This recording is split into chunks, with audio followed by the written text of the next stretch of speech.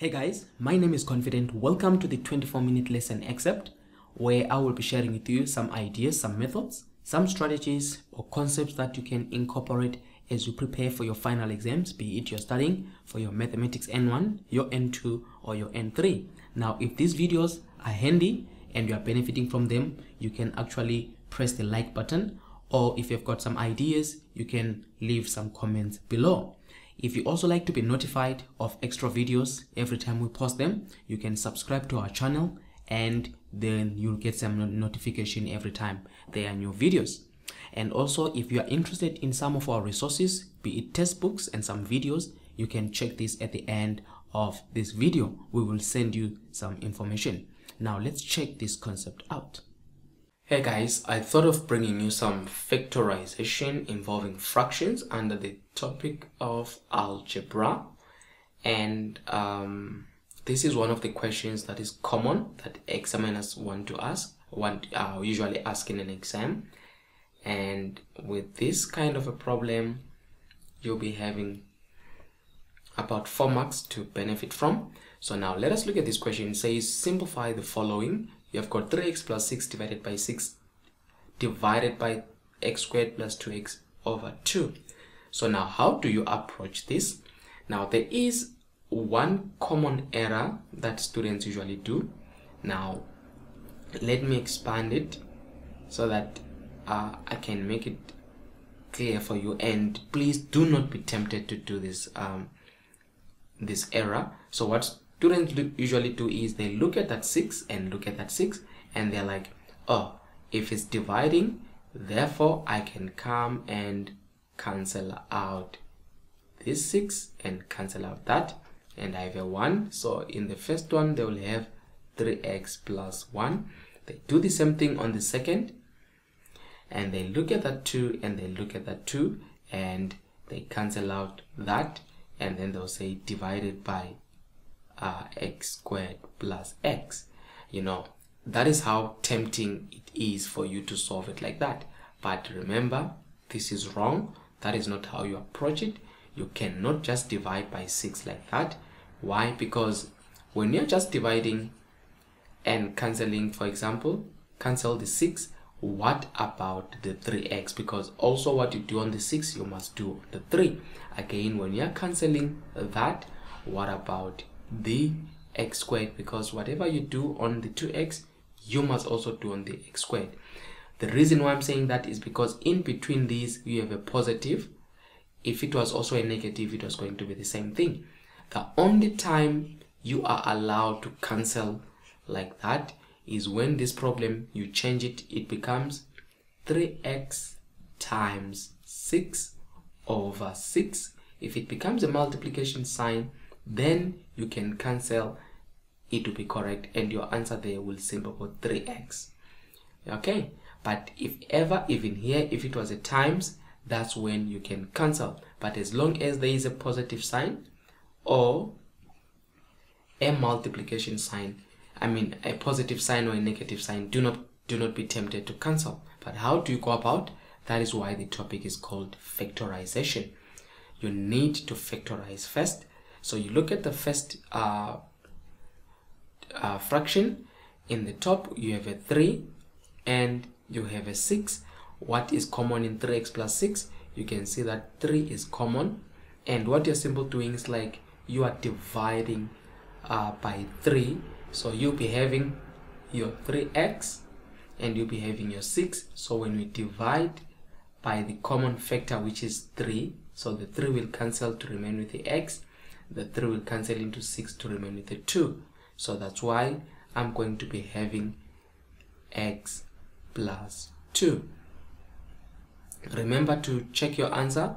You can expand and say 3 x plus 2 you expand there and you expand there to say 3 times x is 3x and 3 times 2 is 6 expanding shows you that if you go back to the original then you did factorizing correctly correctly. So that is the first part that we're doing.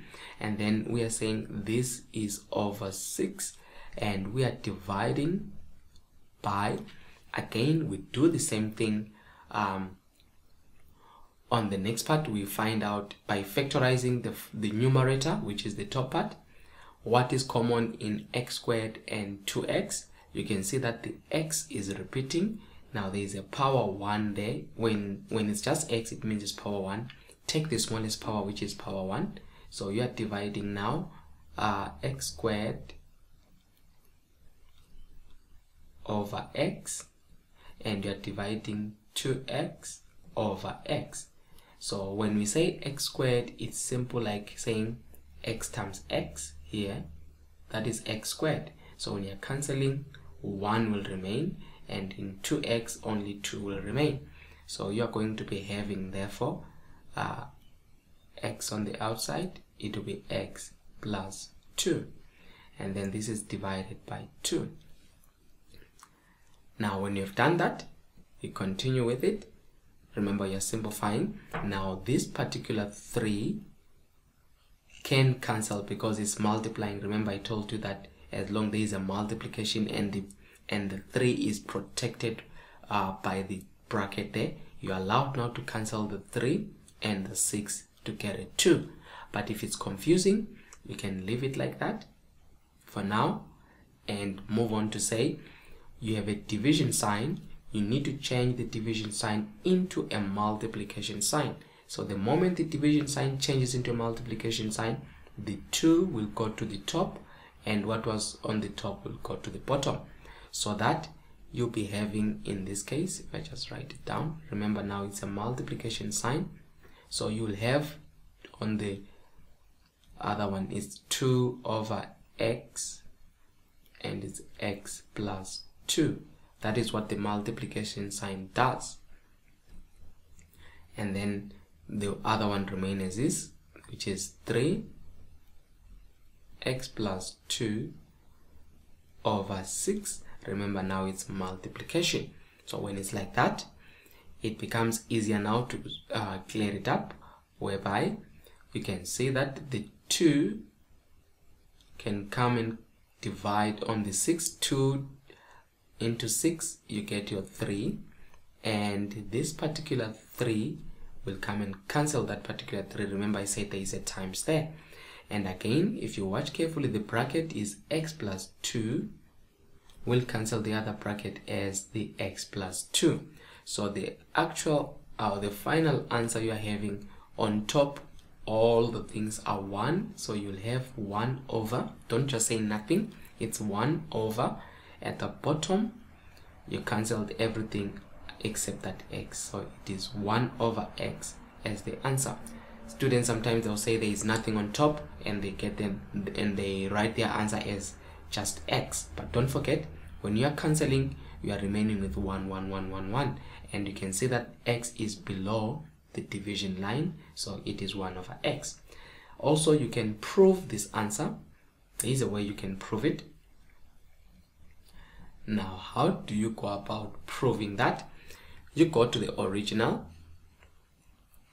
Now in your original you choose any value for example e.g you say let x be equal to let's choose any number let's say 17 so if x is equal to 17 so here you give 3x in other ways it is 3 remember it's 3 times x so it will be 3 times 17 or you can put a bracket like this and say 3 17 and then where there is x squared you are also putting 17 squared where there is 2x you are saying 2 17 so let us use that with our calculator and see what it is going to give us.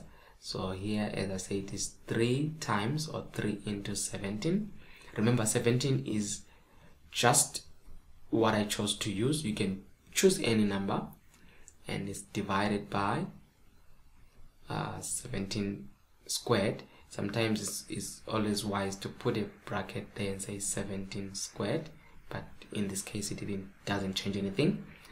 Plus 2 into 17 divided by 2 so when you've done that your answer there you can see it says 1 over 17 so here the answer will be 1 over 17 that is the original one. We got to the one uh, our final answer remember our final answer here was 1 over x but remember we said x is equal to 17 so it will be 1 over where this x is 17 so you can see now that my final answer and when I put a 17 there it also gave 1 over 17 when this matches like that you can see that you you simplified correctly. So that is how you can prove it now i hope this was of benefit to you. Remember to join our youtube and our facebook channel so that you can be able to be notified every time we post these videos.